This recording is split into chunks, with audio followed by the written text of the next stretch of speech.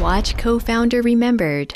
Mr. Nicolas George Hayek of Switzerland's Swatch Group passed away on Monday, June 28th at the age of 82. The Lebanese born Mr. Hayek, who worked up to the time of his passing, was renowned for his key role in reviving the Swiss watch industry through his original vision in helping establish the Swatch Group, which went on to become the number one watchmaker in the world. He was also instrumental in originating the design of the smart car, the ultra small vehicle produced by Mercedes Benz for efficient city use. In tribute to his many contributions, Swiss President Doris Leuthard stated, With his commitment and courageous actions, Mr. Nicolas Hayek for decades gave big and important boosts to entrepreneurship. We owe Mr. Hayek a lot.